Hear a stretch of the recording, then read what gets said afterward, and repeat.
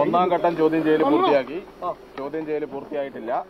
നാളെ പതിനൊന്ന് മണിക്ക് ഇതേ സ്ഥലത്ത് ചോദ്യം ചെയ്യലിന് ഹാജരാകാൻ നോട്ടീസ് കൊടുത്തിട്ടുണ്ട്. നാളെ പതിനൊന്ന് മണിക്ക് ചോദ്യം ചെയ്യൽ തുടരും. അന്വേഷണവുമായിട്ട് സഹകരിക്കുന്നുണ്ട്. നാളെ രാവിലെ പതിനൊന്ന് മണിക്ക് എത്തുമെന്ന് അറിയിച്ചിട്ടുണ്ട്. ഇൻട്രോഗേഷൻ പൂർത്തിയായിട്ടില്ല. ഇൻട്രോഗേഷൻ പൂർത്തിയായതിനു ശേഷം അതിനെക്കുറിച്ച് സംസാരിക്കുന്നതാണ് ഉചിതം. അതാണ്. ഇൻട്രോഗേഷൻ പൂർത്തിയായിട്ടില്ല. ഇൻട്രോഗേഷൻ നാളെ തുടരും. ഇൻട്രോഗേഷൻ ഇൻട്രോഗേഷൻ പൂർത്തിയായതിനു ശേഷം മറ്റു കാര്യങ്ങളെ കുറിച്ചിട്ട് തീരുമാനിക്കും. നമസ്കാരം. ബലാത്സംഗ കേസിൽ ബിഷപ്പ് ഫ്രാങ്കോ മുളയ്ക്കലിനെ ഇന്ന് ഏഴ് മണിക്കൂറോളം അന്വേഷണ സംഘം ചോദ്യം ചെയ്തു. ചോദ്യം ചെയ്യൽ നാളെയും തുടരും. മൂന്ന് മാസമായിട്ടും അന്വേഷണ സംഘത്തിന് സംശയങ്ങൾ ബാക്കിയാണ്. ബിഷപ്പ് പറയുന്നതെല്ലാം പുതിയ അറിവുകളാണ്.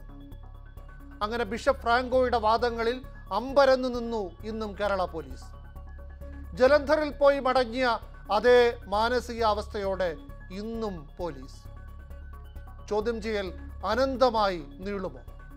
ബിഷപ്പ് ഫ്രാങ്കോ ഒരു പോറലുമേൽക്കാതെ ജലന്ധറിലേക്ക് മടങ്ങും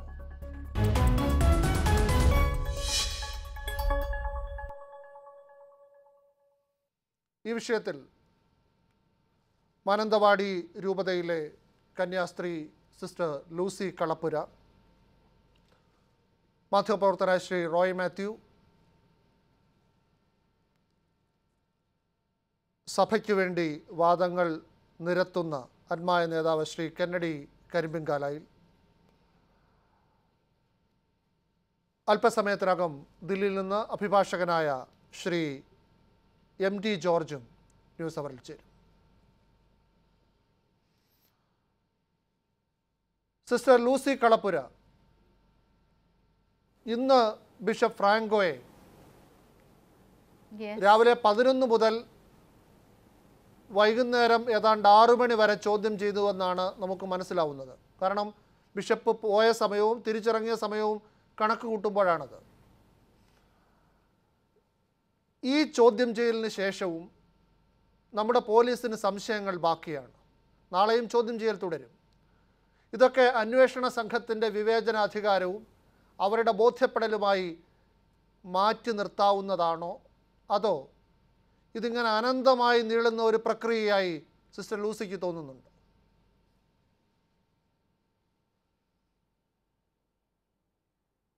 ഞാൻ പറയട്ടെ ഏറ്റവും ആദ്യം തന്നെ ഫ്രാങ്കോ ബിഷപ്പ് എന്ന് പറയുന്ന ആളുടെ അധികാരം കത്തോലിക്ക സഭയിലെ തന്നെ ഏറ്റവും പരമ അധികാരമുള്ള മാർപ്പാപ്പ തിരഞ്ഞെടുക്കപ്പെടുന്നത് മെത്രന്മാരിൽ നിന്ന് ആണ് എന്നുള്ള ഒരു വസ്തുത വെളിപ്പെടുത്തിക്കൊണ്ട് തന്നെ അദ്ദേഹത്തിന്റെ അദ്ദേഹത്തിന്മേൽ ആരോപിക്കപ്പെട്ടിട്ടുള്ള ഗൗരവമുള്ള ഒരു തെറ്റാണ് ഇപ്പോൾ സിസ്റ്ററിന് എതിരായി സിസ്റ്റർ ആരോപിച്ചിട്ടുള്ളത്.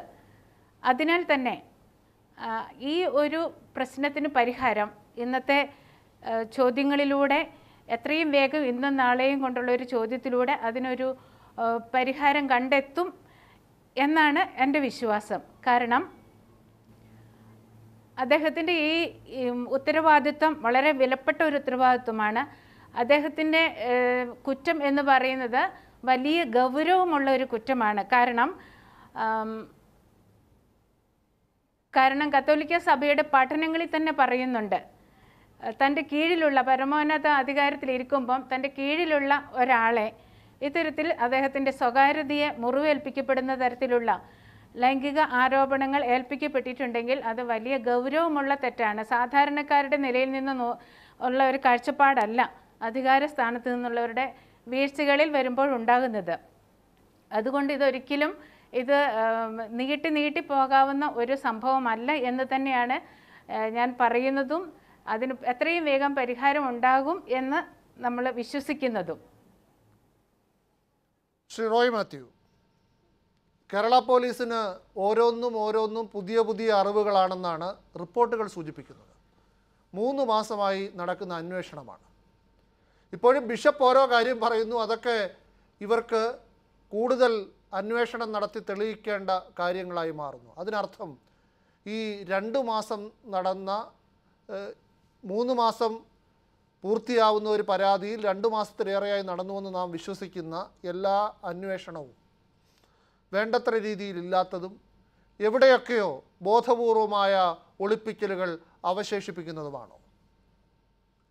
മിനു ആ കാര്യത്തിൽ യാതൊരു സംശയമില്ല കാരണം ഒരു കാര്യം ആലോചിച്ച് നോക്കിയേ. ഈ ജൂൺ ഇരുപത്തിയേഴാം തീയതിയാണ് ഈ ഇരയാക്കപ്പെട്ട കന്യാസ്ത്രീ ആദ്യമായി പരാതി പോലീസിന് പരാതി കൊടുക്കുന്നു.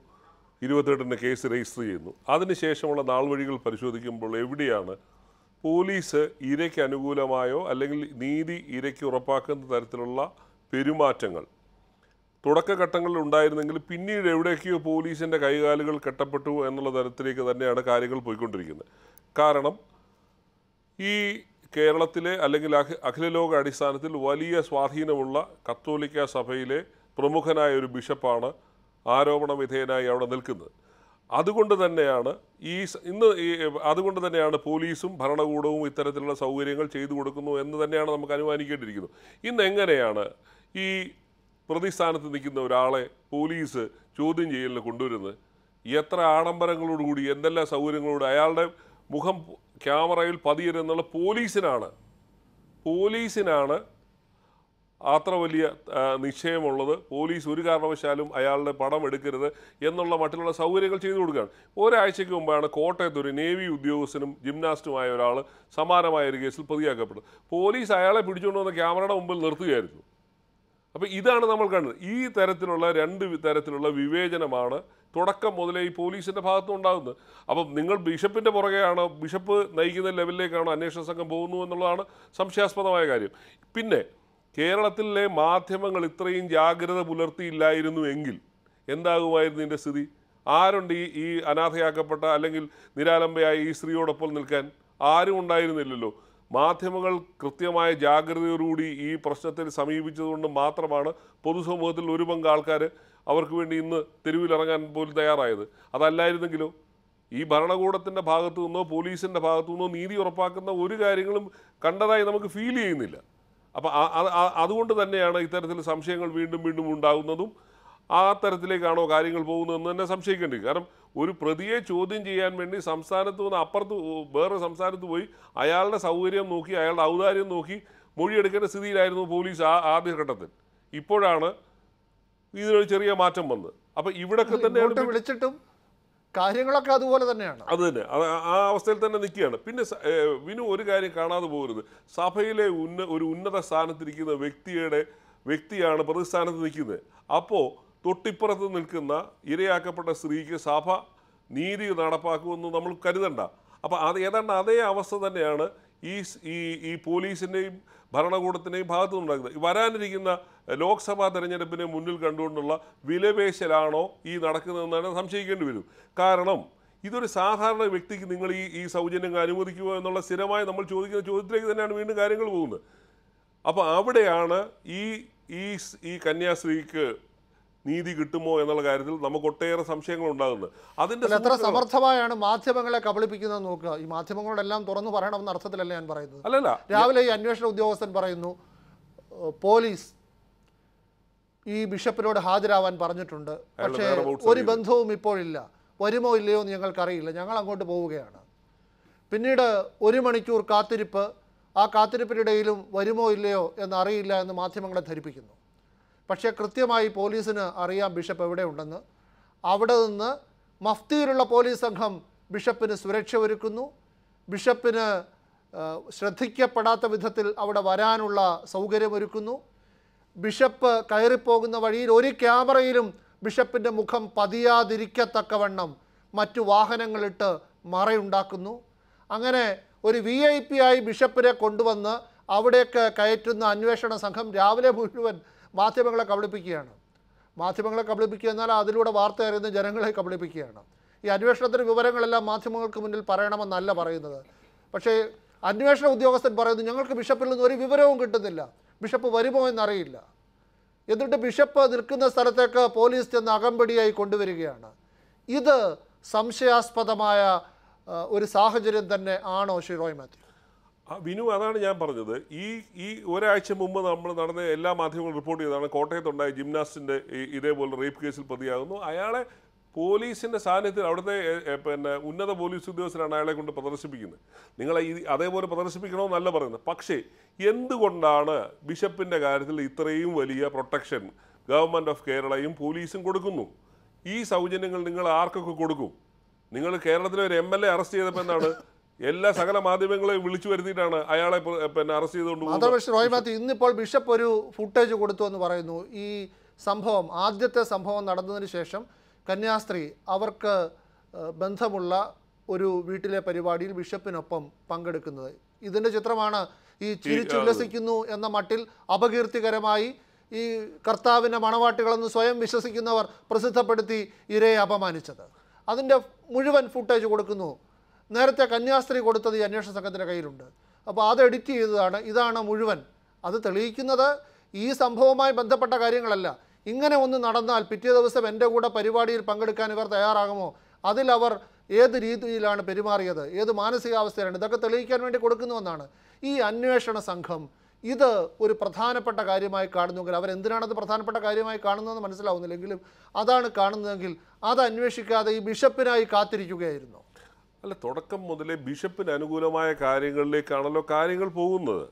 എന്തായിരുന്നു നമ്മുടെ അടുത്ത് ഡി ജി പി പറഞ്ഞ എന്താണ്? സാമൂഹ്യ പശ്ചാത്തലം കൂടി പരിശോധിച്ചതിന് ശേഷം മാത്രമേ കേസിന്റെ അന്വേഷണം നടക്കാൻ പറ്റുള്ളൂ. എന്ത് സാമൂഹ്യ പശ്ചാത്തലം? നിങ്ങൾ ഓരോ പ്രതികളെ പിടിക്കുമ്പോൾ സാമൂഹ്യ പശ്ചാത്തലം നോക്കിയിട്ടാണോ പ്രതികളെ പിടിക്കുന്നത്? അങ്ങനെയാണെങ്കിൽ നിങ്ങൾ ഈ കേരളത്തിൽ ഇതുവരെ നടന്നിട്ടുള്ള കേസുകളിൽ എങ്ങനെ സാമൂഹ്യ പശ്ചാത്തലം നിങ്ങൾ നോക്കുന്നത് എങ്ങനെയാണ്? ഇയാൾ കേരള ഇന്ത്യയുടെ നിയമം അനുസരിച്ച് ക്രിമിനൽ ശിക്ഷാ നിയമം അനുസരിച്ച് ഇയാൾ പ്രതിസ്ഥാനത്ത് നിൽക്കുന്ന ഒരാളാണ്. നിങ്ങൾ ആ ആ ആനുകൂല്യം മാത്രം അയാൾക്ക് അനുവദിച്ചാൽ പോരെ. അതല്ലാത്ത കാര്യത്തിൽ എന്താണ്? നിങ്ങൾ ആ അയാൾ തെളിക്കുന്ന വഴിയെ കൂടെയാണോ കേരള പോലീസ് പോകേണ്ടത്? അതല്ലല്ലോ. ഈ ഈ അത് കാരണം ഇത് പുതിയ പുതിയ കീഴ്വഴക്കങ്ങൾ സൃഷ്ടിച്ചുകൊണ്ട് ഇരയെ രക്ഷി ഇരയെ അപ അപകീർത്തിപ്പെടുത്തുകയും പ്രതിയെ രക്ഷിക്കാൻ വേണ്ടിയുള്ള കളിയാണ് ഈ കളിക്കുന്നത് മുഴുവൻ. അതല്ലാന്ന് ജനങ്ങൾക്ക് ഇതുവരെ ബോധ്യപ്പെട്ടിട്ടില്ല. ശ്രീ കന്നഡി ഇന്ന് പോലീസിന്റെ ചോദ്യം ചെയ്യൽ. പുതിയ തെളിവുകളുടെ അടിസ്ഥാനത്തിൽ അല്ലെങ്കിൽ പുതിയ വാദങ്ങളുടെ അടിസ്ഥാനത്തിൽ ബിഷപ്പിന് അനുകൂലമായി മാറിയതാണോ? അതോ പോലീസിന്റെ കൈ വിറയ്ക്കുന്നുണ്ടോ? ബിനു എന്താ ബിനു അങ്ങനെയൊക്കെ സംസാരിക്കുന്നത്? പോലീസിന്റെ കേരള പോലീസിന്റെ കൈ വിറയ്ക്കേണ്ട ആവശ്യമെന്താ? Police C R P C അനുസരിച്ച് തന്നെ അതിന് നോട്ടീസ് കൊടുത്തു. ആ നോട്ടീസ് കൊടുത്തപ്പോൾ ബിനു മനസ്സിലാക്കണം. നമ്മൾ അങ്ങ് ഒരു മാധ്യമപ്രവർത്തകനാണ് അങ്ങ് അങ്ങയുടെ ജീവിതത്തിൽ എത്രയോ കേസുകൾ ഇതുപോലെ കണ്ടിട്ടുണ്ട്. എന്തൊക്കെ അഭ്യാസം കണ്ടിട്ടുണ്ട്? ആശുപത്രിയിലാകുക അഡ്മിറ്റ് ആകുക വന്നിട്ട് തലയും കുത്തി വീഴുക ഇങ്ങനെ ഒരുപാട് കണ്ടിട്ടുണ്ട്. ഒരുപാട് അതിലൊന്നാണ് ഇപ്പോഴും കാണുന്നത്. അത്രേ ഉള്ളൂ പറഞ്ഞു. ശ്രീ കന്നഡി ഒരുപാട് കണ്ടിട്ടുണ്ട്. അതുപോലെ. ഒന്ന് ഇപ്പോഴും കാണുന്നു. അല്ല വിനു. അങ്ങനെ കാണണ്ട. കുറച്ചുകൂടെ കുറച്ചുകൂടെ സത്യസന്ധമായി ഒന്ന് വിലയിരുത്തും. ഒരു അങ്ങനെ ഒരു കാഴ്ചപ്പാടോടുകൂടി അതിനെ സമീപിക്കാതെ ഞാൻ ഞാൻ പറയുന്ന ഒരു ആംഗിളിൽ ഒന്ന് നോക്കൂ. പത്തൊൻപതാം തീയതി ഇവിടെ ഹാജരാകണോ എന്ന് പോലീസ് പറഞ്ഞപ്പോൾ പത്തൊൻപതാം തീയതി എവിടെ പോലീസ് വിളിച്ചോ അവിടെ അവർ പറഞ്ഞ പോലെ പറഞ്ഞ സ്ഥലത്ത് പറഞ്ഞ സമയത്ത് നിയമത്തിന് വിധേയനാവുന്ന ഒരു വ്യക്തിയല്ലേ കാണുന്നത്. ഒരു ഒരു ഇന്ത്യൻ പൗരൻ എന്നുള്ള നിലയിൽ അത് കാണുമ്പോൾ എനിക്ക് ഒരു പ്രത്യേക തൃപ്തിയുണ്ട്. ഒരു കത്തോലിക്കൻ എന്നുള്ള നിലയിൽ അതിലേറെ സന്തോഷമുണ്ട്. കാരണം നിയമത്തിന് വിധേയമാണ് സഭ. നിയമത്തിന് വിധേയനാണ് മെത്രാൻ. ആരും നിയമത്തിന് മേലെയല്ല എന്ന് അത് പ്രൂവ് ചെയ്യുന്നു. പോലീസ് നമ്മൾ മാധ്യമങ്ങളിൽ നിന്ന് മനസ്സിലാക്കുന്നിടത്തോളം നാലോ അഞ്ചോ ക്യാമറയൊക്കെ വെച്ച് അദ്ദേഹത്തിന്റെ ഓരോ നീക്കങ്ങളും നിരീക്ഷിക്കുന്നതൊക്കെ ആയിട്ട് നമ്മൾ മനസ്സിലാക്കുന്നു. ഒരു ഒരു അപ്പോൾ സർക്കാർ പോലീസിനെ വളരെ ഫ്രീ ആയി വിട്ടിരിക്കുന്നു. ലക്ഷക്കണക്കിന് വിശ്വാസികളുടെ ഒരു ഒരു മെത്രാനാണ് എന്നുള്ള ഒരു പരിഗണനയും കൊടുക്കുന്നില്ല. ഒരു പ്രതിയെ എങ്ങനെ കൈകാര്യം ചെയ്യണോ അങ്ങനെ കൈകാര്യം ചെയ്യുന്നു എന്ന് കാണുമ്പോൾ ജനങ്ങൾ അത് ബോധ്യപ്പെടട്ടെ. ഞാൻ- അതിൽ തീർച്ചയായിട്ടും ഞാൻ അതിനകത്ത് വളരെ സംതൃപ്തനാണെന്ന് കൂടെ പറയാൻ ആഗ്രഹിക്കുന്നു. സിസ്റ്റർ ലൂസി കളപ്പുര ഇതുപോലെയുള്ള ഒരു സംഭവം ഇങ്ങനെ ഒരു പരാതി പുറത്തേക്ക് വരുന്നതും അത് പൊതുസമൂഹം ഏറ്റെടുക്കുന്നതും തെരുവിൽ സമരമായി വളരുന്നതുമൊക്കെ ആദ്യമായിട്ടാണ്. പക്ഷേ ഇത്തരം സംഭവങ്ങൾ. ഞാൻ പറയുന്നത് പരാതി വരുന്നതും പ്രതിഷേധമുയരുന്നതും ആ പ്രതിഷേധത്തിന് പിന്തുണ കിട്ടുന്നതും സഭ എത്ര ഒതുക്കാൻ ശ്രമിച്ചിട്ടും അത് പരിധിയില്ലാതെ പടരുന്നതും ഒരു പുതിയ സംഭവമാണ്. പക്ഷേ ഇത്തരം ലൈംഗിക അതിക്രമങ്ങൾ പുതിയ സംഭവമാണോ?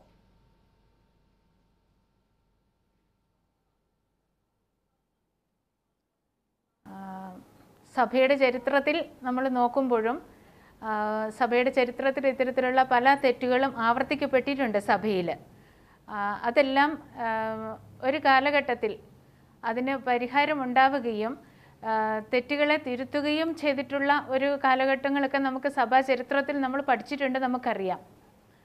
അതുപോലെ തന്നെ ഈ ഒരു കാലഘട്ടത്തിൽ ഇത് കത്തോലിക്ക സഭയുടെ നേതൃത്വ നിരകളിലുള്ളവരുടെ തെറ്റിന് ഒരു പരിഹാരം അല്ലെങ്കിൽ അതൊരു നവോത്ഥാനം ഉണ്ടാകേണ്ട ഒരു കാലഘട്ടമായിട്ടാണ് ഇപ്പം ഈ സിസ്റ്റേഴ്സിന് ഇതുപോലെയുള്ള ഒരു സമരത്തിലേക്ക് ഇറങ്ങി തിരിക്കേണ്ടി വന്ന സാഹചര്യത്തെ ഞാൻ കാണുന്നത്. അതുകൊണ്ട് ഇത് ശരിക്കും മൂടി വയ്ക്കപ്പെടാമായിരുന്നു പക്ഷേ അവരിലുള്ള വലിയൊരു ആത്മീയ ധൈര്യം അവരവരുടെ സഭാ സമൂഹത്തിനിടയിലും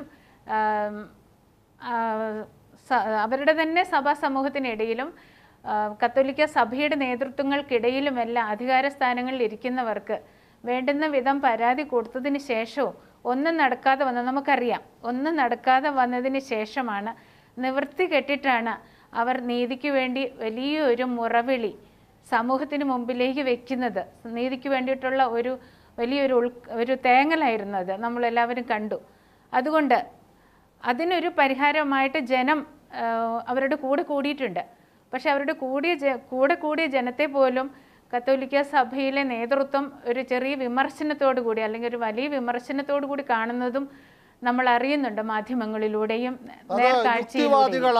ഒരിക്കലും എന്നാണ് പറയുന്നത്. പക്ഷെ സിസ്റ്റർ ഈ യുക്തിവാദികൾ കന്യാസ്ത്രീകളുടെ കരച്ചിൽ പറയാൻ പാടില്ല.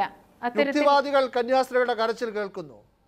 സഭയ്ക്ക് പുറത്തുള്ളവർ ഈ കന്യാസ്ത്രീകളുടെ കരച്ചിൽ കേൾക്കുന്നു. പക്ഷെ സഭയ്ക്ക് അത് കേൾക്കാനാവുന്നില്ല.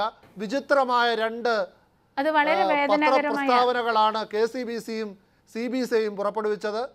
അത് ഈ എ എം എം എ എന്ന സംഘടനയുടെ കാര്യത്തിൽ ദിലീപിന്റെ പ്രശ്നം വന്നപ്പോൾ ആ സംഘടന പറഞ്ഞ അതേ വാദമാണ്. കാരണം ഞങ്ങൾ ഇരയ്ക്കൊപ്പം നിൽക്കുന്നു വേട്ടക്കാരനായി പ്രാർത്ഥിക്കുന്നു. സമാനമായ ഒരു പ്രതികരണമാണത്. ആ പ്രതികരണം അപ്പോൾ മാത്രമല്ല ആ ആ സംഘടനയുടെ തലപ്പത്തുള്ള ഒരു നടൻ ഈ ചോദ്യം ചോദിച്ചപ്പോൾ ഒരു മാധ്യമ പ്രവർത്തകനെ ആക്ഷേപിച്ചുകൊണ്ട് ആവർത്തിക്കുന്നതും കണ്ടതാണ്.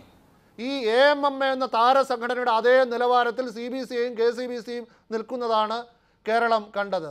അപ്പോൾ മനസാക്ഷിയുള്ളവർ അവർ സഭയ്ക്ക് പുറത്താകാം അവർ യുക്തിവാദികളാവാം അവർ മറ്റേതെങ്കിലും രാഷ്ട്രീയ വിശ്വാസമുള്ളവരാവാം അവർ കന്യാസ്ത്രീകളുടെ കരച്ചിൽ കേൾക്കുന്നത് ഒരു മഹാ അപരാധമാണോ സിസ്റ്റർ ലൂസി? വലിയൊരു ഭാഗ്യമായിട്ടാണ് ഞാൻ കാണുന്നത്. വലിയ സന്തോഷത്തോടെ പറയട്ടെ. അംഗീകരിക്കേണ്ടവരും താങ്ങു കൊടുക്കേണ്ടവരും നിരാകരിച്ചപ്പോൾ മനുഷ്യ സമൂഹം ഹൃദയവും മനസാക്ഷിയുമുള്ള മനുഷ്യ സമൂഹം അവർക്ക് പിന്തുണയായി ചെന്നതിൽ ഞാൻ അഭിമാനിക്കുകയാണ്. കാരണം കാരണം നമുക്ക് എല്ലാവർക്കും വ്യക്തമായിട്ട് അറിയാവുന്നതാണ് ആരാണ് അവർക്ക് സപ്പോർട്ട് ചെയ്യേണ്ടിയിരുന്നത്. അതിന്റെ പേരിൽ ഒരിക്കലും ഇന്ന വിഭാഗത്തിൽപ്പെട്ടവരാണ് അവർക്ക് താങ്ങു കൊടുക്കുന്നത്. അതുകൊണ്ട് അത് കത്തോലിക്ക സഭയ്ക്ക് എതിരാണെന്ന് ഒരിക്കലും പറയാൻ പാടില്ല. യേശുക്രിസ്തു അങ്ങനെ ഒരു കാര്യം തരംതിരിവ് ഒരിക്കലും പഠിപ്പിച്ചിട്ടുമില്ല. യേശുക്രിസ്തു പഠിപ്പിക്കുന്നതനുസരിച്ചാണെങ്കിൽ നീതിക്ക് വേണ്ടി ആര് കരയുന്നുവോ ആർക്ക് നീതി നിഷേധിക്കപ്പെടുന്നുവോ ആര് ചൂഷണത്തിന് വിധേയപ്പെടുന്നുവോ അവർക്ക് വേണ്ടിയിട്ട് വാദിക്കാനാണ് യേശുക്രിസ്തു ഈ ലോകത്തിലേക്ക് വന്നത്. നമുക്കറിയാം അന്ന് വരെ നിലനിന്നിരുന്ന യഹൂദ അധികാരങ്ങളെ പാരമ്പര്യങ്ങളെ നിഷ്കരണം തട്ടിമറിച്ച് അട്ടിമറിച്ച് യേശു സ്നേഹത്തിന്റെയും വിനയത്തിന്റെയും എളിമയുടെയും പാവപ്പെട്ടവരോടുള്ള അതി ചൂഷണം ചെയ്യപ്പെടുന്നവരോടുള്ള പാവപ്പെട്ടവരോടുള്ള വലിയ സ്നേഹം പ്രഖ്യാപിക്കുകയും ചെയ്ത യേശുക്രിസ്തുവിനെ പ്രസംഗിക്കുന്ന സഭയും സഭാംഗങ്ങളും ഒരിക്കലും മാറി നിൽക്കാൻ പാടില്ലായിരുന്നു. അവർ മാറി നിന്ന സമയത്താണ് ഒരു മനുഷ്യ സമൂഹം വലിയ യേശുക്രിസ്തുവിന്റെ തന്നെ ശബ്ദമായിട്ട് ഒരു മനുഷ്യ സമൂഹം ഉയർന്നു വന്നിരിക്കുന്നത്. നമുക്കറിയാം കേരളം. വലിയൊരു പ്രളയ ദുരിതത്തെ നേരിട്ടപ്പോൾ അവിടെ ജാതിയില്ല മതമില്ല രാഷ്ട്രീയമില്ല പൊട്ടില്ല ഒന്നുമില്ലായിരുന്നു. യെസ് സിസ്റ്റർ ലൂസി ഇവിടെ കേരളത്തിലെ മുഴുവൻ കന്യാസ്ത്രീകളും ഈ സമരത്തിന് പിന്തുണ പ്രഖ്യാപിക്കേണ്ടതാണോ? കാരണം ഒരുപാട് പേർ ഉള്ളിൽ ഒതുക്കിയിരുന്ന രോഷവും പരാതിയുമാണ് ഇപ്പോൾ തെരുവിലിരിക്കുന്ന കന്യാസ്ത്രീകളിലൂടെ പുറത്തേക്ക് വരുന്നത്. അത് ലൈംഗിക അതിക്രമമാകാം അവരുടെ മനുഷ്യാവകാശങ്ങളുടെ ലംഘനമാകാം കേവലം അടിമകളെപ്പോലെ അവരെ കൈകാര്യം ചെയ്യുന്നതാവാം അവരെ വെറും വേലക്കാരായി കരുതുന്നത് കൊണ്ടാവാം അവരെ ഉപയോഗിക്കുകയും ഉപേക്ഷിക്കുകയും ചെയ്യുന്നത് കൊണ്ടാവാം കേരളത്തിലെ മുഴുവൻ കന്യാസ്ത്രീകളും ഈ കന്യാസ്ത്രീക്കും അവർക്കൊപ്പം നിൽക്കുന്നവർക്കും പിന്തുണയുമായി കൊച്ചിയിലെ സമരപ്പന്തലിലേക്ക് പോകേണ്ടതാണെന്ന് സിസ്റ്റർ ലൂസിക്ക് തോന്നുന്നുണ്ടോ? തീർച്ചയായിട്ടും. അങ്ങനെ ഒന്ന് എന്റെ എന്റെ ഒരു വലിയ ആഗ്രഹമായിരുന്നു എന്റെ ഒരു സ്വപ്നമായിരുന്നു ഈ സമയത്ത് അവരോടൊത്ത് ഒരു ചെറിയ വാക്കുകൊണ്ട് പോലും ആശ്വസിപ്പിക്കാൻ ഞങ്ങളുടെ ഒരു വലിയ സന്യാസ സമൂഹത്തിന് കഴിഞ്ഞില്ലല്ലോ എന്ന് വെച്ചിട്ടുണ്ടെങ്കിൽ പതിനായിരക്കണക്കിന് സന്യാസിനികൾ ഇന്ന് കേരളത്തിലുണ്ട്. ഞങ്ങളിൽ ഒരാളാണ് ഇത്തരത്തിൽ ലൈംഗികമായി പീഡിപ്പിക്കപ്പെട്ടു എന്ന് വളരെ ഹൃദയവേദനയോടെ വലിയ മുറിവേറ്റ് ഹൃദയത്തോടെ പറയേണ്ടി വന്നത് ലോകത്തിന് മുമ്പിൽ പറയേണ്ടി വന്നത്. പക്ഷേ എത്ര പേർ ആ സമരപ്പന്തലിൽ സിസ്റ്ററിന് ഐക്യദാർഢ്യം പ്രകടിപ്പിച്ചുകൊണ്ട് ഞങ്ങളിൽ ഒരാളുണ്ട് എന്ന് എനിക്ക് വളരെ വ്യക്തമല്ല. ഏതാനും പേർ ഒന്നോ രണ്ടോ പേർ മാത്രമേ ഉള്ളൂ എന്നാണ് ഞാൻ കരുതുന്നത്. ഈ സന്യാസ സമൂഹത്തിലെ സന്യാസിനി സമൂഹത്തിലെ മുഴുവൻ സിസ്റ്റേഴ്സും ഇനി എല്ലാവർക്കും ഇറങ്ങാൻ പറ്റിയില്ലെങ്കിൽ പോലും ഓരോ വ്യത്യസ്ത സന്യാസ സഭാ സമൂഹങ്ങളുടെ അധികാര സ്ഥാനത്ത് നേതൃത്വ സ്ഥാനത്ത് ഇരിക്കുന്നവർ തീർച്ചയായിട്ടും അവരുടെ ഏതെങ്കിലും രീതിയിലുള്ള ഒരു സപ്പോർട്ട് എങ്കിലും കൊടുക്കേണ്ടതായിരുന്നു. ഇത് വലിയൊരു പരാജയമായിട്ട് തന്നെ ഞാൻ കാണുകയാണ്. കാരണം ഇത്തരത്തിലുള്ള അല്ലെങ്കിൽ ഇതേപോലെയുള്ള ലൈംഗികമായ ചൂഷണങ്ങൾക്ക് പീഡനങ്ങൾക്കും കന്യാസ്ത്രീകൾ ഇരയാകുന്നുണ്ട് എന്നുള്ളതൊരു സത്യമാണ്. പലരും ഷെയർ ചെയ്തിട്ട് എന്നോട് തന്നെ വ്യക്തിപരമായി ഷെയർ ചെയ്തിട്ടുള്ള കുറേ കാര്യങ്ങളൊക്കെ എനിക്കറിയാം. പലതരത്തിലാണ് ഇത് നടക്കുന്നത്. ഒന്ന് ഇപ്പം നമ്മുടെ സിസ്റ്ററിന് പറ്റിയതുപോലെ ബലാത്കാരമായിട്ട് മറ്റു ചിലത് വളരെ സൗഹൃദമായിട്ട് നടിച്ചുകൊണ്ട് ആ സൗഹൃദത്തിൽ നിന്ന് മുതലെടുത്തുകൊണ്ട് മറ്റു ചിലത് സാഹചര്യങ്ങളുടെ സമ്മർദ്ദത്താൽ നിശബ്ദമായിട്ട് നേരിടേണ്ടി വരുന്ന ചില സാഹചര്യങ്ങൾ ഇങ്ങനെ പലതരത്തിലുള്ള കാരണങ്ങൾ കൊണ്ട് ഇത്തരത്തിലുള്ള ചൂഷണങ്ങൾക്ക് സിസ്റ്റേഴ്സ് പിന്നെ വിധേയപ്പെടുന്നുണ്ട്. സിസ്റ്റേഴ്സിന് ഇത്തരത്തിലുള്ള പ്രശ്നങ്ങൾ നേരിടേണ്ടി വരുന്നുണ്ട്. പക്ഷേ എങ്ങനെ പറയും? എന്തു പറയും? പറഞ്ഞാൽ പിറ്റേ ദിവസം ചിലപ്പോൾ സഭയ്ക്ക് പുറത്ത് നിൽക്കേണ്ടി വരും. എന്നൊക്കെയുള്ള വലിയ വേദനകൾ ഉള്ളതുകൊണ്ടായിരിക്കാം മൗനം പാലിക്കുന്നതും. ഇതിനെ ഒരു സ്വന്തമായ ഒരു ചുവട് അല്ലെങ്കിൽ ഒരു നിലനിൽപ്പ് പ്രഖ്യാപിക്കാതെ വിധേയത്വം കാണിക്കുന്നതും എന്നാണ് ഞാൻ കരുതുന്നത്. ഒരു പരിധി വരെ മതി നമ്മൾക്ക് വിധേയത്വം. നമ്മുടെ ആധ്യാത്മിക കാര്യങ്ങളിൽ ദൈവജനത്തിന്റെ ആധ്യാത്മിക കാര്യങ്ങളിലുള്ള സഹകരണത്തിൽ മാത്രം വിധേയത്വം മതി. പക്ഷേ ഞങ്ങൾ തന്നെ ഒരു തൊണ്ണൂറ് ശതമാനം പേരും ഞങ്ങളിങ്ങനെ ഇരുന്നോളാം എന്ന് പറയുന്ന ചില സാഹചര്യങ്ങൾ കൂടി ഇപ്പോൾ നിലനിൽക്കുന്നുണ്ട്. ഞങ്ങൾക്കിങ്ങനെ മതി. പക്ഷേ അത് പോരെ എന്നെ പ്രിയപ്പെട്ട സിസ്റ്റേഴ്സിനോട് ഞാൻ പറയുവാണ് നമ്മൾ കുറച്ചും കൂടി ഉണർന്നെഴുന്നേൽക്കണം.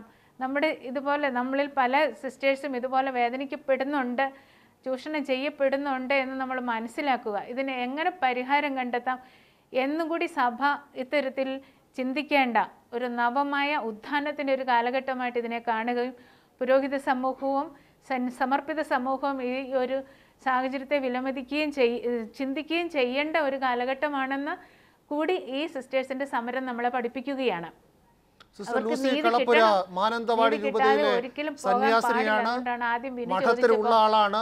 മഠം വിട്ടിറങ്ങിയതോ സഭയെ ധിക്കരിച്ച് പുറത്തേക്ക് ഇറങ്ങിയതോ ഒന്നുമല്ല. പക്ഷേ ഈ പ്രശ്നത്തിൽ സ്വന്തം നിലപാട് പറഞ്ഞുകൊണ്ട് അതിശക്തമായി കന്യാസ്ത്രീകൾക്ക് പിന്തുണ പ്രഖ്യാപിക്കുന്നു.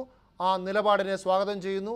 ഈ ചർച്ച കാണുന്ന ആരും സിസ്റ്റർ ലൂസി വേറിട്ട് നിൽക്കുന്ന ഒരു വ്യക്തിയായി സഭ വിട്ടിറങ്ങിയ ഒരാളായി തെറ്റിദ്ധരിക്കേണ്ട സിസ്റ്റർ ലൂസി ഇപ്പോഴും മാനന്തവാടി രൂപതയിലെ സന്യാസിനി തന്നെ ആണ്. ഇടവേളയ്ക്ക് ശേഷം തിരിച്ചെത്താം.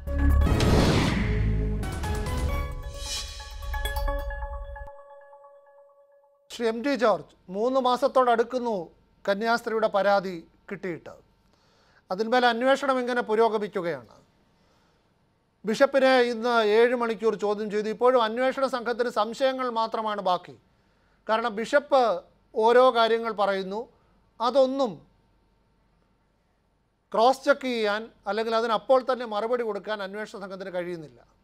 അപ്പോൾ ഈ അന്വേഷണവും ചോദ്യം ചെയ്യലുമൊക്കെ ഏതോ സമ്മർദ്ദത്തിൽ മറ്റെന്തോ ദിശയിലേക്ക് പോകുന്നു എന്ന സംശയം ശ്രീ എം ടി ജോർജിനുണ്ടോ?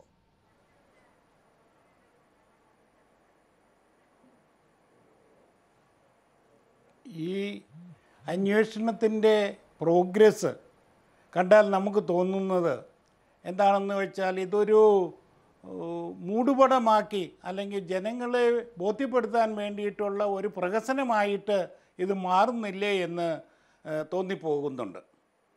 കാരണം ഇതുപോലുള്ള കേസുകൾ അന്വേഷിക്കുമ്പോൾ സമയബന്ധിതമായിട്ട് അത് നടത്തണമെന്ന് നിയമം അനുശാസിക്കുന്നുണ്ട്. രണ്ടായിരത്തി പതിനെട്ടിൽ വന്ന അമെൻമെന്റിൽ പ്രകാരം രണ്ട് മാസമാണ് ഇത്തരം ആരോപണങ്ങൾ അന്വേഷിച്ച് റിപ്പോർട്ട് നൽകേണ്ട കാലാവധി. അതിപ്പോൾ ബിനു പറഞ്ഞതുപോലെ മൂന്ന് മാസത്തിലേക്ക് നീളുകയാണ്.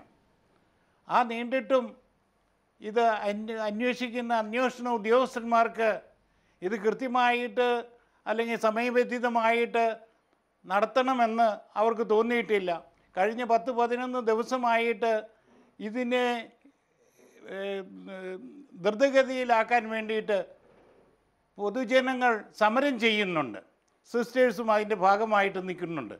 അപ്പോൾ അങ്ങനെയുള്ള സാഹചര്യങ്ങൾ പോലും നമ്മുടെ ഇൻവെസ്റ്റിഗേഷൻ ഏജൻസിയെ കൃത്യമായിട്ട് കാര്യങ്ങൾ നടത്തുന്നതിന് പ്രേരിപ്പിക്കുന്നില്ല എന്നുള്ളത് വളരെ സംശയാസ്പദമായിട്ട് കാണേണ്ടിയിരിക്കുന്നു.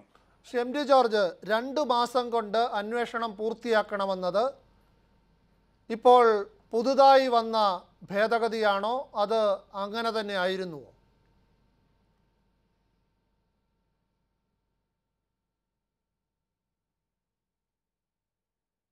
അല്ല. രണ്ട് മാസം കൊണ്ട് ഇതിനു മുമ്പുണ്ടായിരുന്ന നിയമം അനുസരിച്ച് പന്ത്രണ്ട് വയസ്സിൽ താഴെയുള്ള കുട്ടികളെ കുറിച്ച് ഉള്ള പരാതിയാണെങ്കിൽ അതിൽ അന്വേഷണം മൂന്ന് മാസത്തിനുള്ളിൽ തീർക്കണമെന്നുള്ളതായിരുന്നു. പക്ഷേ ഇന്ന് ത്രീ സെവന്റി സിക്സ് അതിന്റെ മറ്റു പല ഉപവിഭാഗങ്ങളെ എല്ലാം എടുത്ത് അന്വേഷണം നടത്തേണ്ടത് കേവലം രണ്ട് മാസമാണ് നിയമം അനുശാസിക്കുന്നത്. അതുകൊണ്ട് അത് കഴിഞ്ഞ ഏപ്രിൽ ഇരുപത്തി ഒന്നാം തീയതി പ്രാബല്യത്തിൽ വന്നതാണ്. ഇത് നമ്മുടെ ഇൻവെസ്റ്റിഗേറ്റിംഗ് ഏജൻസിക്ക് അറിയില്ല എന്ന് കരുതാൻ കാരണമൊന്നുമില്ല. അവരത് അറിയേണ്ടതാണ്. അവർ നിത്യം ചെയ്യുന്ന ജോലിയാണ്. നിയമത്തിൽ കാലാനുകാലങ്ങളിൽ വരുന്ന അമെൻമെന്റ്സ് അല്ലെങ്കിൽ ഭേദഗതികൾ ഇവർ മനസ്സിലാക്കിയിരിക്കേണ്ടതാണ്. അത് വെച്ച് അവർ കാണിക്കേണ്ട ശുഷ്കാന്തി ആകാംക്ഷ ഈ കാര്യത്തിൽ കാണിച്ചിട്ടില്ല എന്ന് ഉള്ളതിന് ഉത്തമ ഉദാഹരണമാണ് ഡൽഹിക്കും ജലന്ധറിലേക്കും ഇൻവെസ്റ്റിഗേറ്റിംഗ് ഏജൻസി നടത്തിയ ഉല്ലാസയാത്ര. അപ്പോൾ അഞ്ചു മാസമായി രാജ്യത്തെ നിയമം രണ്ട് മാസം കൊണ്ട് അന്വേഷണം പൂർത്തിയാക്കണം എന്നിരിക്കെ. കോടതിയിൽ പോലും ഇക്കാര്യം ചൂണ്ടിക്കാണിക്കുന്നതിൽ ബന്ധപ്പെട്ട ആളുകൾ പരാജയപ്പെട്ടെന്ന് കരുതേണ്ടി വരുമോ ശ്രീ എം ടി ജോർജ്? സത്യത്തിൽ ഹൈക്കോടതിയിൽ ഇതുവരെ ഈ കന്യാസ്ത്രീ പോയിട്ടില്ല കന്യാസ്ത്രീയുമായി ബന്ധമുള്ള ആരും പോയിട്ടില്ല. മറ്റുള്ള ആളുകളാണ് പോയിട്ടുള്ളത്. നിർഭാഗ്യവശാൽ കെ സി ബി സിയും സി ബി സിയും ഒക്കെ ഇറക്കിയ വാർത്താക്കുറിപ്പിൽ ഇതിലൊരു പാർട്ടി അതായത് ഒരു പാർട്ടി ബിഷപ്പും ഒരു പാർട്ടി കന്യാസ്ത്രീയുമാണല്ലോ. ഒരു പാർട്ടി കോടതിയിൽ പോയിരിക്കുന്നത് കൊണ്ട് ഞങ്ങൾ അതിന്റെ വഴിക്ക് വിടുന്നു എന്ന മട്ടിൽ പറയുന്നുണ്ട്. സത്യത്തിൽ കന്യാസ്ത്രീ ഇതുവരെ കോടതിയിൽ പോയിട്ടില്ല. മൂന്നാം കക്ഷികളാണ്. ഇതിൽ പൊതു താല്പര്യവുമായി വന്ന ആളുകളാണ് രണ്ട് തവണയായി കോടതിയെ സമീപിച്ചിട്ടുള്ളത്. പക്ഷേ അവിടെയും ഇക്കാര്യം കോടതിയെ ധരിപ്പിക്കുന്നതിൽ പരാജയം ഉണ്ടായിട്ടുണ്ടോ ശ്രീ എം ടി ജോർജ്? തീർച്ചയായിട്ടും. കാരണം ഒരു ക്രൈം കമ്മിറ്റ് ചെയ്തു എന്ന് ആരുടെയെങ്കിലും പരാതി കിട്ടിക്കഴിഞ്ഞാൽ അത് അന്വേഷിക്കേണ്ട ചുമതല പോലീസിന്റെ അല്ലെങ്കിൽ ഇൻവെസ്റ്റിഗേറ്റിംഗ് ഏജൻസി പലതരത്തിലുള്ള ഏജൻസികളുണ്ട്. അവരുടെ ചുമതലയാണ്.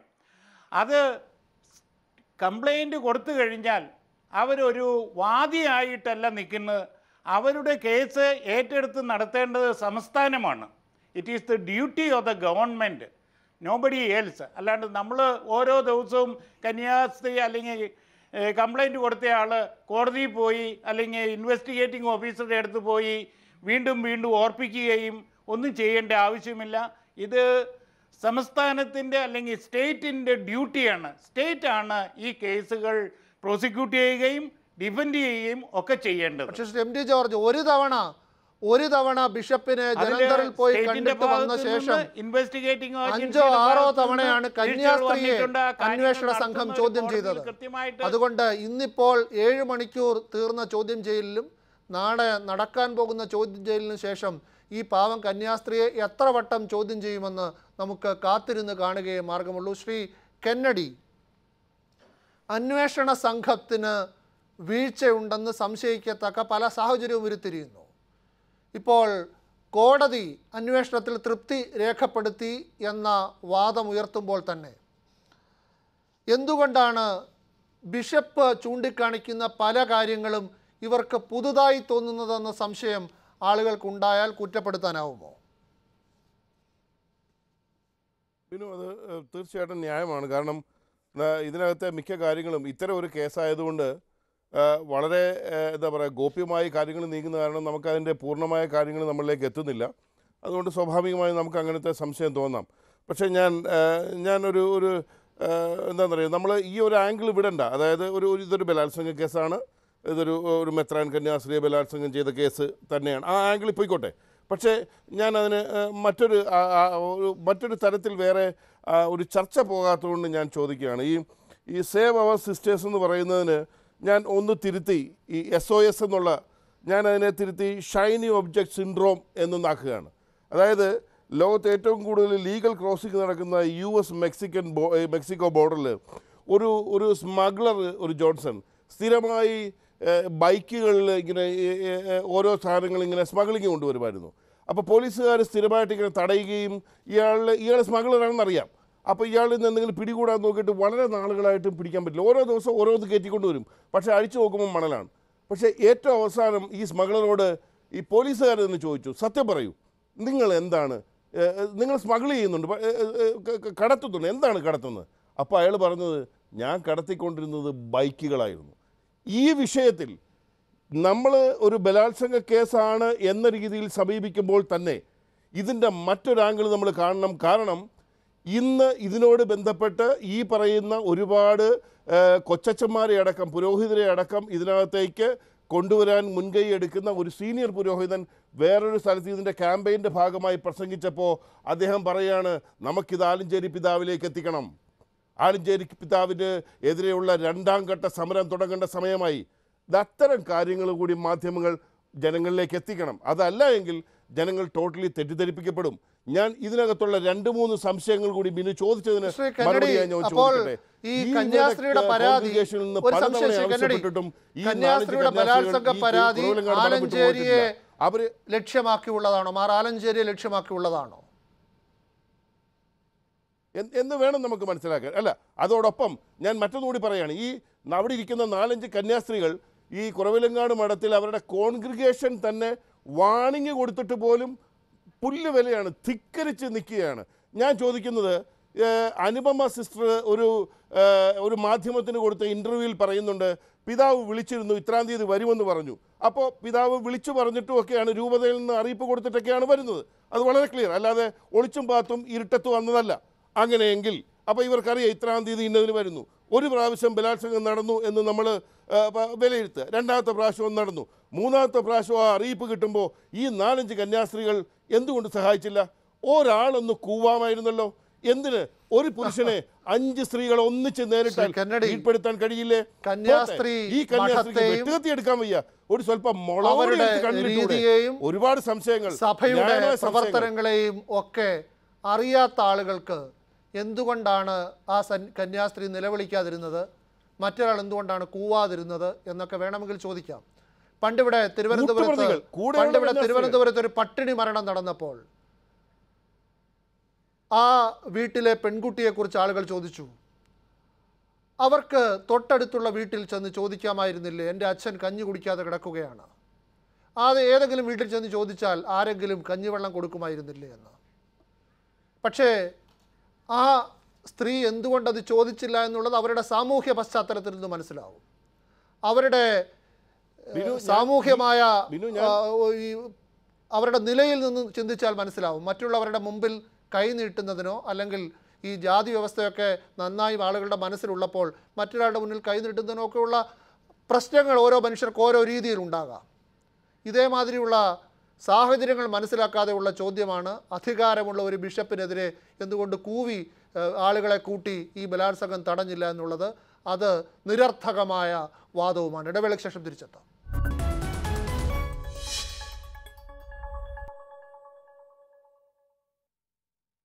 സിസ്റ്റർ ലൂസി പി സി ജോർജിന്റെ വാദം അല്പം മാന്യമായി അവതരിപ്പിക്കുകയായിരുന്നു ശ്രീ കെന്നഡി എന്നേ ഉള്ളൂ. സഭയെ സംബന്ധിച്ച് സന്യാസിനി സമൂഹങ്ങളെ സംബന്ധിച്ച് ഈ അധികാരത്തിനെതിരെ ശബ്ദിക്കുക എന്നത് അത്ര ലളിതമായി ചെയ്യാവുന്ന ഒന്നാണോ?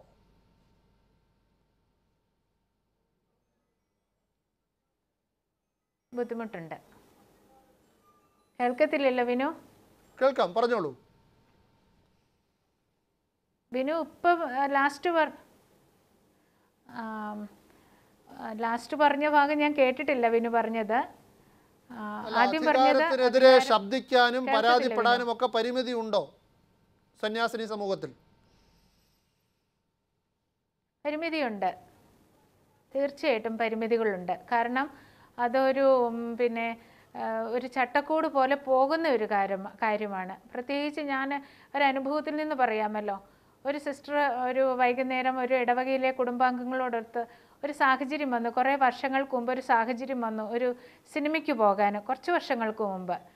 എന്നാൽ അതേ തിയേറ്ററിൽ പിന്നെ സിനിമ കണ്ടുകൊണ്ടിരുന്ന ഒരു വൈദികൻ പുറത്തിറങ്ങിയതിന് ശേഷം ഉടൻ തന്നെ ഞങ്ങളുടെ നമ്മുടെ സന്യാസ അധികാരികളെ വിളിച്ചറിയിക്കുകയും നേരം വെളുക്കുന്നത് നേരം വെളുക്കാൻ കാത്തിരുന്നു ആ സിസ്റ്ററിന് ഒരു ശിക്ഷ എന്ന വണ്ണം ആ സമൂഹത്തിൽ നിന്നും കൊണ്ടുവന്ന് വേറൊരു പ്രാർത്ഥനാ ഭവനിലാക്കുകയും ചെയ്തു. ഇതുപോലെ എന്ന് വെച്ചാൽ ഒരു അതേ ഒരു അതേ തിയേറ്ററിൽ അതേ ഷോയ്ക്ക് പോയിരുന്ന ഒരാ രണ്ടു പേർക്ക് തമ്മിലുള്ള വ്യത്യാസമാണ്.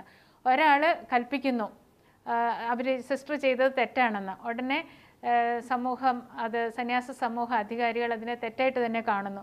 അതൊരു ചെറിയൊരു അനുഭവം പറഞ്ഞതാണ്. ഇതുപോലെ ഒത്തിരി വിലക്കുകളുണ്ട് ഒത്തിരി അടിമത്തങ്ങളുണ്ട്.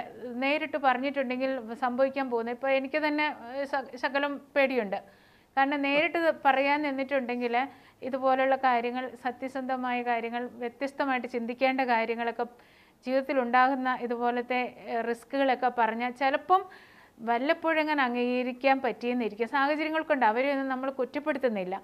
പക്ഷേ ഇതുപോലെയുള്ള വലിയ ബുദ്ധിമുട്ടുകൾ ഉണ്ട് പരിമിതികൾ ഉണ്ട്. കാരണം ചിലപ്പം പറഞ്ഞാൽ നമ്മൾ ചിലപ്പോൾ സഭയിൽ നിന്ന് പുറത്തായെന്നിരിക്കും.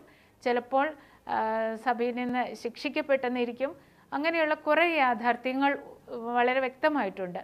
ഇപ്പോൾ തന്നെ ലൈംഗിക ചൂഷണത്തിന് അടിമപ്പെടുന്ന എല്ലാ സന്യാസ സമൂഹങ്ങളിൽ തന്നെ വൈദികരാൽ ചൂഷണം ചെയ്യപ്പെട്ടിട്ടുള്ളവരും മറ്റേ മറ്റൊരവസ്ഥയിലേക്ക് മാറിയിട്ടുള്ളവരും ഉണ്ട്. അതിനകത്തൊക്കെ ഈ കന്യാസ്ത്രീകളാണ് ശിക്ഷിക്കപ്പെടുകയും അതിന്റെ പരിണിത ഫലം അനുഭവിക്കുകയും ചെയ്യുന്നത്. വൈദികർ കുറച്ചും കൂടി ശ്രേഷ്ഠമായ സ്ഥാനങ്ങളിലേക്ക് ഉയർന്നുയർന്നു പോകുന്നതാണ് നമ്മുടെ മുമ്പിലുള്ള ചില സത്യങ്ങൾ. നമ്മൾ കണ്ടിട്ടുണ്ട്.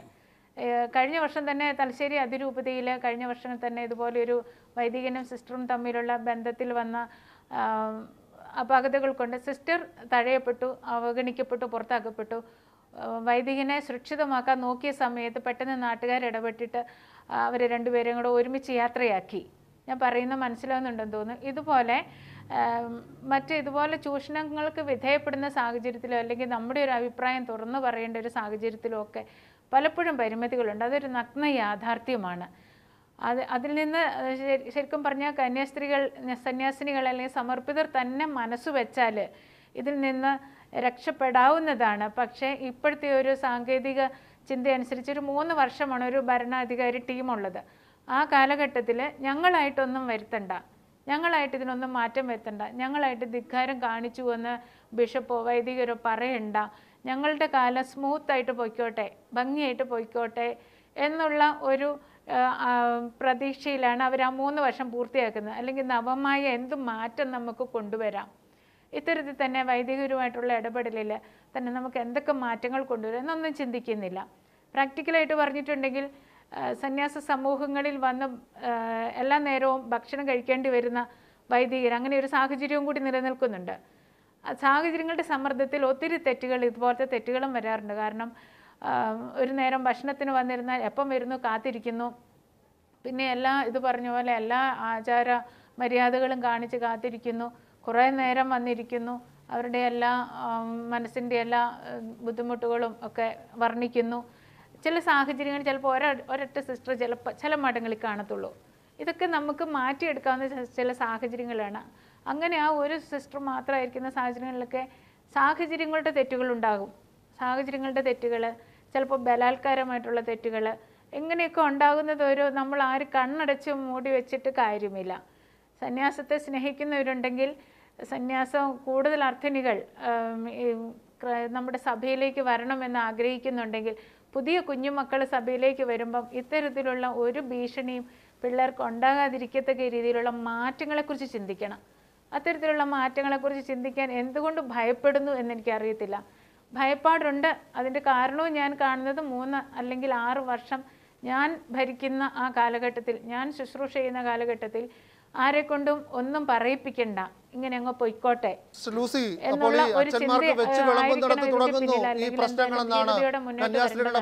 സിസ്റ്റർ സൂചിപ്പിച്ചത്? ഇത് ഈ ബിഷപ്പിനെതിരായ പരാതിയിലേക്ക് കൂടുതൽ വെളിച്ചം വീശുന്നതുമാണ്. ഫാദർ നിക്കോളാസ് മണിപ്പറമ്പിൽ ടെലിഫോൺ ലൈനിലുണ്ട്. ഫാദർ നിക്കോളാസിന്റെ മുന്നിലാണ് കന്യാസ്ത്രീ വിവരങ്ങൾ നേരിട്ട് പറഞ്ഞതെന്നും തെളിവുകൾ കാണിച്ചതെന്നും ഒക്കെയായിരുന്നു നേരത്തെ പറഞ്ഞിരുന്നത്. ഫാദർ നിക്കോളാസ് മണിപ്പറമ്പിൽ ഇപ്പോൾ ഈ കന്യാസ്ത്രീയെ വിശ്വസിക്കരുതെന്നും ബിഷപ്പിനെതിരെ കള്ള പരാതിയാണെന്നും ഫാദർ നിക്കോളാസിന് തോന്നാൻ ഇടയായത് എന്തുകൊണ്ടാണ്?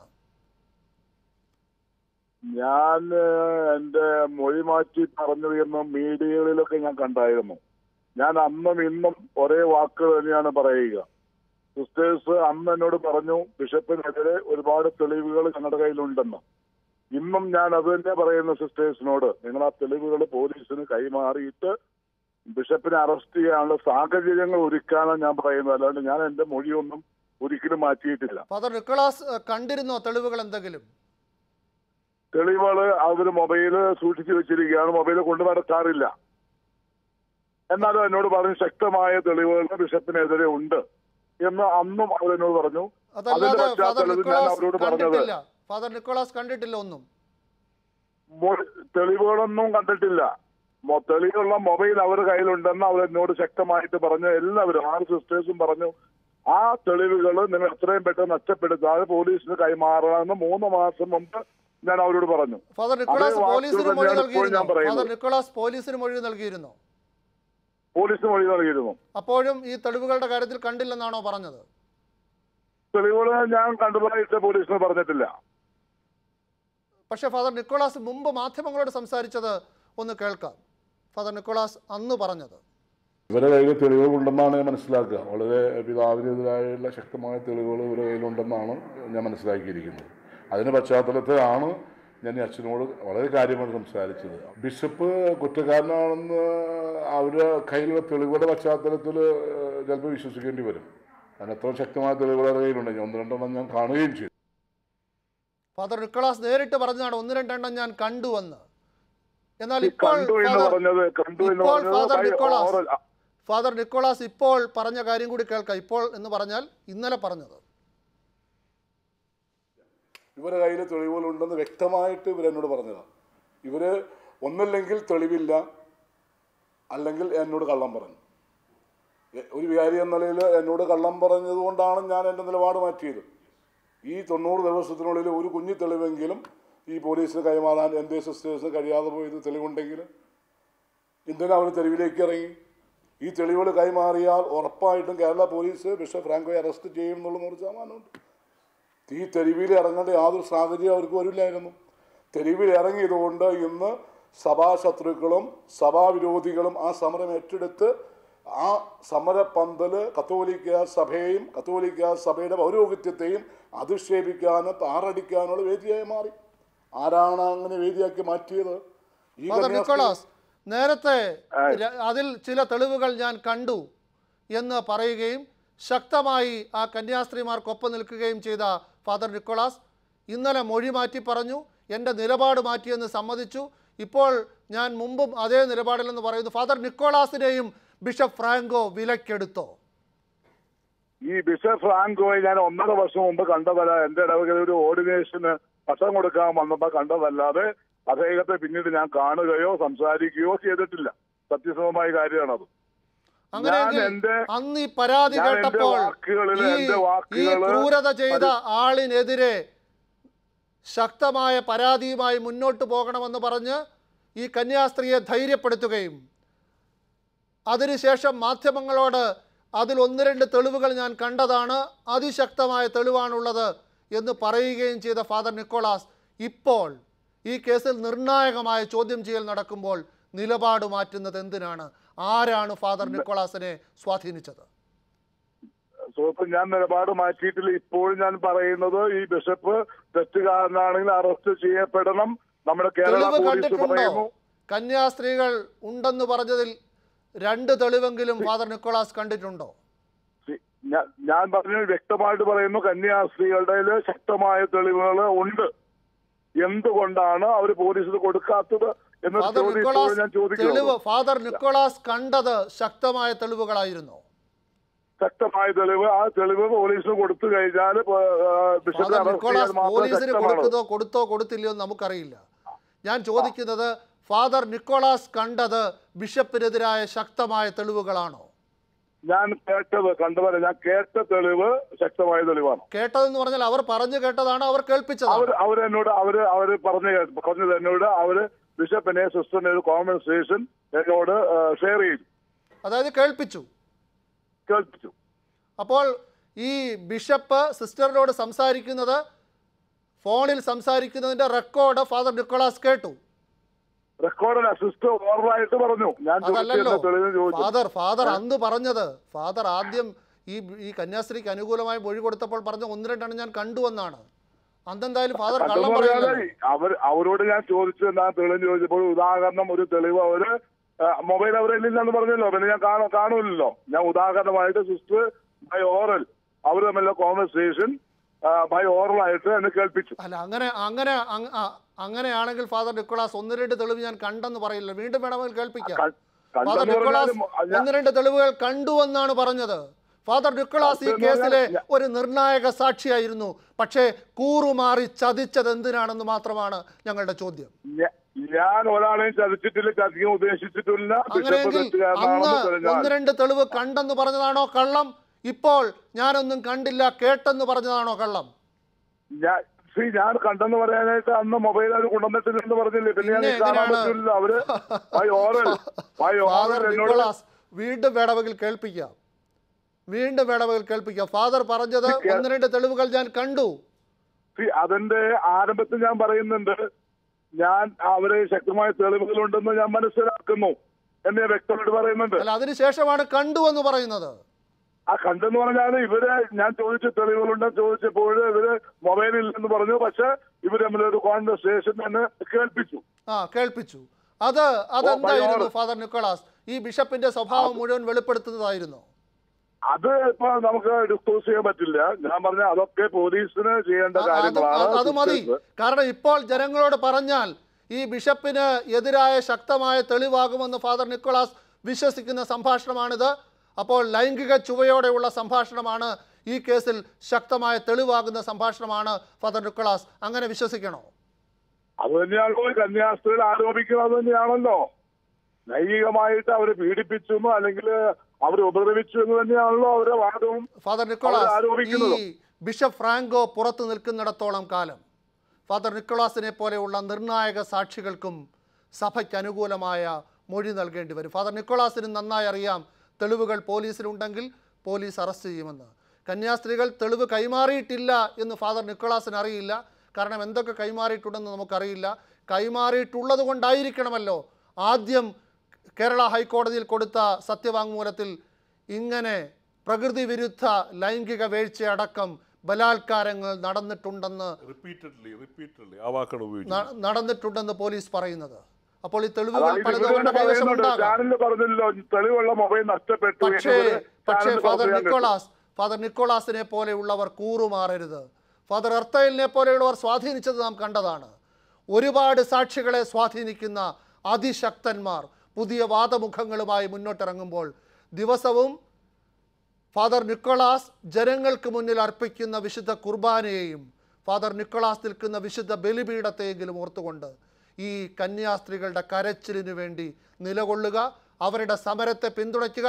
അത് കത്തോലിക്ക സഭയെ മോശമാക്കാനുള്ളതല്ല കത്തോലിക്ക സഭയിലെ ബലാത്സംഗ വീരന്മാരെ ജനങ്ങൾക്ക് മുന്നിൽ കൊണ്ടുവരാനുള്ളതാണ്. ഇടവേളയ്ക്ക് ശേഷം തിരിച്ചെത്താം.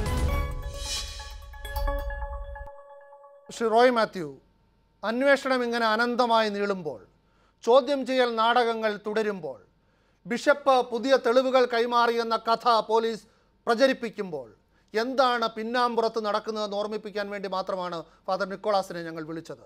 ഷോയ് മാത്യു ഈ കേസ് അട്ടിമറിക്കുമെന്ന് നമുക്ക് ഇപ്പോൾ ആശങ്കപ്പെടേണ്ടി വരുമോ?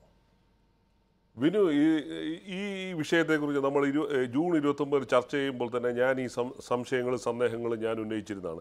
കാരണം അത് ആ തരത്തിലേക്കാണല്ലോ കാര്യങ്ങൾ പോകുന്നത്.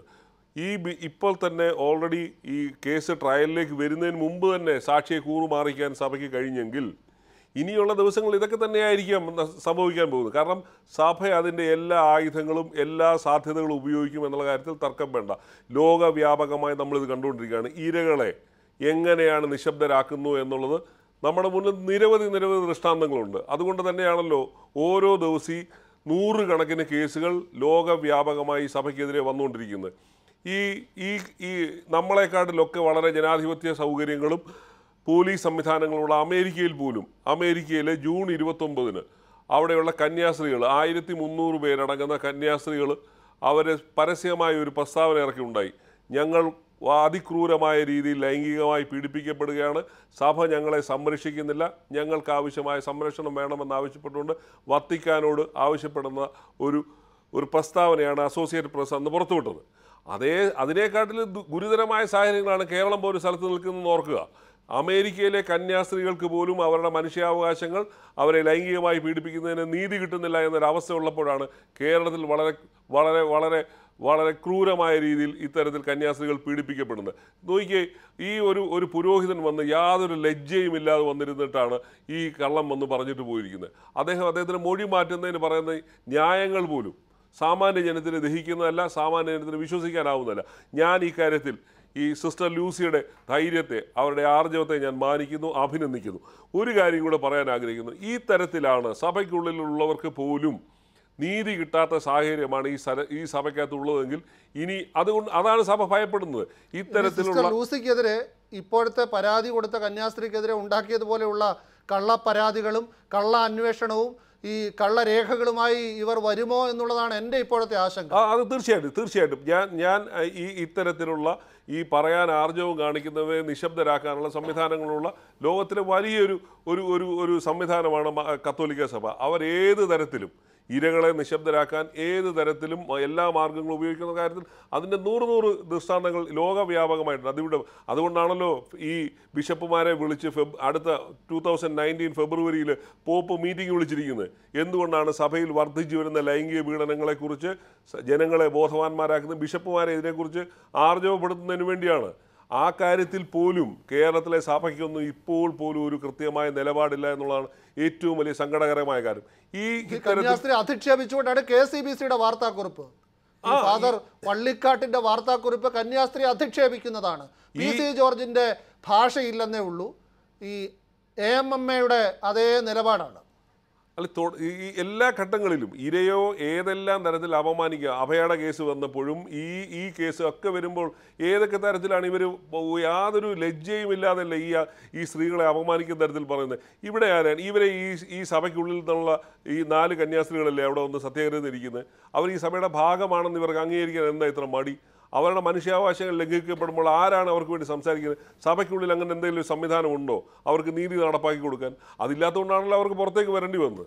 അപ്പോൾ ഈ സാഹചര്യങ്ങൾ നമ്മൾ കാണാതെ പോകരുത്. സഭ അതിന്റെ എല്ലാ മാർഗങ്ങളും ഉപയോഗിച്ച് ഇത്തരത്തിലുള്ള ഇരകളെ നിശബ്ദരാക്കാൻ ശ്രമിക്കും എന്നുള്ള കാര്യത്തിൽ യാതൊരു സംശയം വേണ്ട അത് തന്നെയാണ് ഇപ്പോൾ കണ്ടത്. ഈ അച്ഛന് ഈ അച്ഛൻ ഈ ഈ കുർബാനയൊക്കെ അനുഷ്ഠിക്കുന്ന അനേകമായിരം ആൾക്കാരുടെ കുംഭസാരം കേൾക്കുന്ന ഒരു പുരോഹിതനാണ് ഇത്തരത്തിൽ വന്നിരുന്നത്. ഒരു പൊതുമണ്ഡലത്തിൽ വന്നിരുന്നത്. യാതൊരു മര്യാദ കുംഭസാരവും ശ്രീ റോയ് മാത്യു കുംഭസാരവും ഈ കേസിലേക്ക് വരുന്നുണ്ട്. കാരണം ഈ കന്യാസ്ത്രീ ഈ ബിഷപ്പിനെ തടയാൻ തീരുമാനിക്കാനുള്ള ധൈര്യം ആർജിക്കുന്നത് അട്ടപ്പാടിയിലെ ധ്യാന കേന്ദ്രത്തിൽ നടന്ന ധ്യാനത്തിനും കുംഭസാരത്തിനും ശേഷമാണ്. അതിനുശേഷം ബിഷപ്പിനെ ഈ പ്രവർത്തികൾക്ക് അവർ അനുവദിച്ചിട്ടില്ല. തുടർന്നാണ് അവർക്കെതിരെ ഈ പരാതി ഉണ്ടാകുന്നു അന്വേഷണം ഉണ്ടാകുന്നു അവരെ മോശമാക്കാനുള്ള ശ്രമം നടക്കുന്നു ഒക്കെ അപ്പോൾ ഈ തെറ്റ് അട്ടപ്പാടി ധ്യാന കേന്ദ്രത്തിലെ ഒരു പുരോഹിതനോട് ഏറ്റു പറഞ്ഞിട്ടുണ്ട് കന്യാസ്ത്രീ. ഇപ്പോൾ ആ പുരോഹിതരാരെന്ന് അന്വേഷിക്കുകയാണ് പോലീസ് സംഘം. അവരും പ്രതിസന്ധിയിലാണ്. ഈ കുംഭസാര രഹസ്യം വെളിപ്പെടുത്താനാവില്ല. അവർക്ക് മതപരമായി. പക്ഷേ പോലീസിനോട് ആ വിവരം പറയണോ പറയണ്ടയോ എന്നുള്ള ഒരു പ്രശ്നവും. അങ്ങനെ ഈ കുംഭസാരം വീണ്ടും ഈ കേസിലേക്ക് വന്നിട്ടുണ്ട്. അത് തന്നെ. വീണു ഒരു കാര്യം. ഇതിനെക്കാട്ടിലും വളരെ ജുഗുപ്സാവകമായ രീതിയിലല്ലേ കർദിനാൾ ആലഞ്ചേരി ആ പാവപ്പെട്ട കന്യാസ്ത്രീയോട് പറഞ്ഞ് ഞാനിതെല്ലാം കേട്ടു പക്ഷേ പോലീസ് ചോദിച്ചാൽ ഞാനൊന്നും പറയില്ല ഇതല്ലേ? അപ്പൊ ഇത് തന്നെയാണ് തലയിൽ കൈവച്ചുകൊണ്ട് ഒരു കന്യാസ്ത്രീയുടെ പിതാവിനോട് പറഞ്ഞു മകനെ പുറത്തു പോയി മാധ്യമങ്ങളോടും പോലീസിനോടും ഒന്നും അല്ല, എന്നിട്ടാണ് എല്ലാം നിർലജ്ജം എല്ലാം നിർലജ്ജം ഇപ്പോൾ അവർ നിരാകരിക്കുന്നത്. Shri M T George case ഏതൊക്കെ രീതിയിൽ സ്വാധീനിക്കപ്പെടുമെന്ന് നമുക്കറിയാവുന്നതാണ്. ഇപ്പോൾ ഒരു മുൻകൂർ ജാമ്യാപേക്ഷ കേരള ഹൈക്കോടതിയുടെ പരിഗണനയിലുണ്ട്. അത് മറ്റൊരു ദിവസത്തേക്ക് ഇരുപത്തഞ്ചിലേക്ക് മാറ്റിവെച്ചിട്ടേ ഉള്ളൂ. അതിന്മേൽ ഒരു നിരീക്ഷണവും പരാമർശവും കോടതി നടത്തിയിട്ടില്ല. പോലീസിന് ഇങ്ങനെ ഒരു മുൻകൂർ ഹർജി കേരള ഹൈക്കോടതി പരിഗണനയ്ക്കെടുത്തിരിക്കുന്നു എന്നതിന്റെ പേരിൽ അറസ്റ്റ് തടയാനാകുമോ നീട്ടിവെക്കാനാകുമോ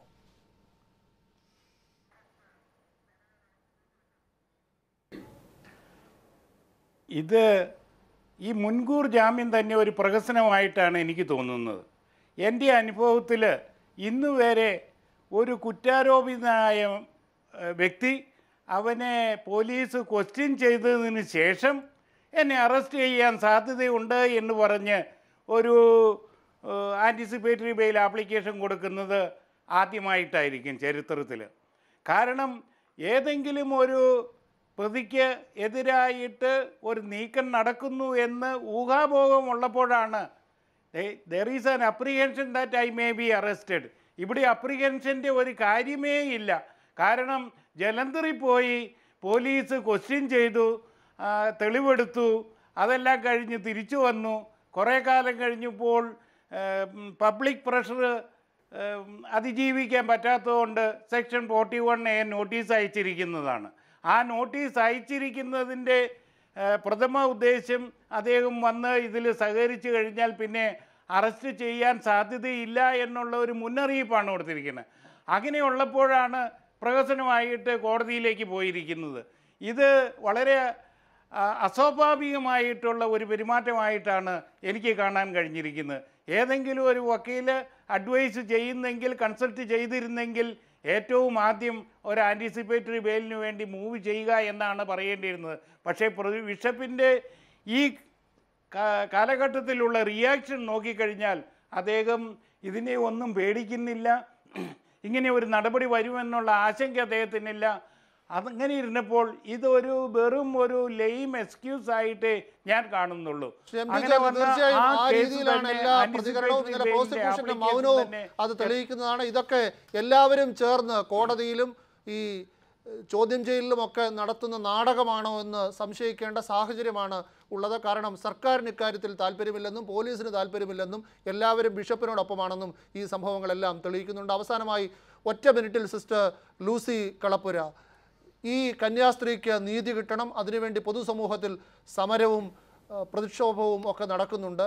അത് നാൾക്ക് നാൾ ശക്തി ആർജിക്കുമോ അതോ സഭ എല്ലാ സംവിധാനങ്ങളും ഉപയോഗിച്ച് ഇതെല്ലാം അടിച്ചമർത്തുമോ?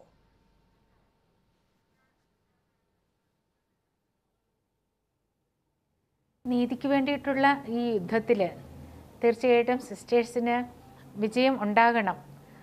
അതിന്റെ ബാക്കി കാര്യങ്ങൾ നിയമപരമായിട്ട് ചിന്തിക്കുമ്പോൾ എനിക്ക് കൃത്യം പറയാൻ അറിയത്തില്ല എങ്കിലും ഇതിനകത്ത് വളരെ ഒരു ഒരു നീണ്ടു പോകുന്ന ഒരു അവസ്ഥ നമുക്ക് കാണാൻ പറ്റുന്നുണ്ട്. പക്ഷേ ഒരു ശക്തമായ ഗവൺമെന്റ് കേരളത്തിന് കേരള ജനത പ്രതീക്ഷിക്കുന്നു ഇക്കാര്യത്തിൽ വളരെ ശക്തമായ ഒരു സംസ്ഥാനത്തെയും അതിന്റെ ഭരണകൂടത്തെയും പ്രതീക്ഷിക്കുകയാണ് ഇക്കാര്യത്തിൽ ഒരു നീതിക്ക് വേണ്ടിയിട്ട്. കാരണം ചിലരൊക്കെ പറയുന്ന കേട്ടു ഇനിയിപ്പോൾ അവസാന സിസ്റ്റേഴ്സ് ആ സിസ്റ്റർ തന്നെ ജയിലിൽ അടയ്ക്കപ്പെടുമോ? അത്രമാത്രം ഫ്രാങ്കോ എന്ന് പറയുന്ന ബിഷപ്പ് ഈ കാര്യത്തിൽ ഇടപെടുമോ എന്ന്. ഒരിക്കലും ഒരു സാമാന്യ ബോധമുള്ളവർ സാമാന്യ ബുദ്ധിക്ക് പോലും മനസ്സിലാക്കാൻ പറ്റും ഇത്ര പ്രൗഢിയുള്ള ഇത്ര പവർ മാൻ എന്ന് വേണമെങ്കിൽ അദ്ദേഹത്തെ വിളിക്കാം. അത് പലതരത്തിലുള്ള പവറിന്റെ ആളാണ് അദ്ദേഹം. അദ്ദേഹത്തിനെതിരെ ഒരു സാധുവായ ഒരു സിസ്റ്റർ ഒരു പരാതി കൊടുക്കണമെങ്കിൽ സമൂഹത്തിന്റെ മുമ്പിൽ പറയണമെങ്കിൽ തീർച്ചയായിട്ടും നൂറ് ശതമാനത്തിനപ്പുറം നമുക്ക് പറയാൻ പറ്റുമെങ്കിൽ അത് ശരിയാകും. കാരണം ആ സിസ്റ്ററിന്റെ ഭാഗത്ത് പറയുന്ന പ്രശ്നം പ്രതി ബിഷപ്പ് ഫ്രാങ്കോ തന്നെയാണെന്നുള്ളതും സിസ്റ്റർ അതിന് ഇരയായിട്ടുണ്ടെന്നും സിസ്റ്ററിന്റെ ഹൃദയം മുറിവേറ്റിട്ടുണ്ടെന്നും ശരീരവും ഒപ്പം ആത്മാവും മുറിവേറ്റപ്പെട്ടിട്ടുണ്ട് എന്നുള്ളതും വളരെ സത്യമാണ് എന്ന് സാമാന്യക്കാർക്ക് മനസ്സിലാക്കാൻ പറ്റുന്ന ഒരു സത്യമാണ്. പിന്നെ ഈ പവർ മാൻ അദ്ദേഹത്തിന്റെ സകല ശക്തി ഉപയോഗിച്ചുകൊണ്ട് ഇതിനെ നേരിടാൻ വേണ്ടിയിട്ട് സിസ്റ്ററിനെ കുറ്റക്കാരിയായിട്ട് കൺ പ്രതിനിധീകരിച്ചുകൊണ്ട് പ്രവർത്തിക്കുമ്പോൾ കേരളം അതിന്റെ ഗവൺമെന്റ് സർക്കാർ തീർച്ചയായിട്ടും നല്ലൊരു ഡിപ്പാർട്ട്മെന്റിൽ ജോലി ചെയ്തുകൊണ്ട് തന്നെ ഈ സത്യം നമ്മുടെ കേരള ജനതയോട് വിളിച്ചു പറയും. നമുക്കതിൽ അഭിമാനിക്കാം എന്ന് തന്നെയാണ് ഞാൻ വിശ്വസിക്കുന്നതും. അങ്ങനെ തന്നെ നടക്കട്ടെ എന്നാണ് പ്രാർത്ഥന അതിൽ മാറ്റം ഈ കന്യാസ്ത്രീക്കൊപ്പം കേരളം അണിനിരക്കട്ടെ സംരക്ഷണ കവചങ്ങൾ പൊളിഞ്ഞു വീഴട്ടെ. വളരെ നന്ദി sister Lucy Kalappura. ഷ്രോയ് Mathew Shri M T George. നേരത്തെ സംസാരിച്ച ശ്രീ കെന്നഡി ന്യൂസ് അവസാനിക്കുന്നു. ഇനി ഞാനെട്ടെ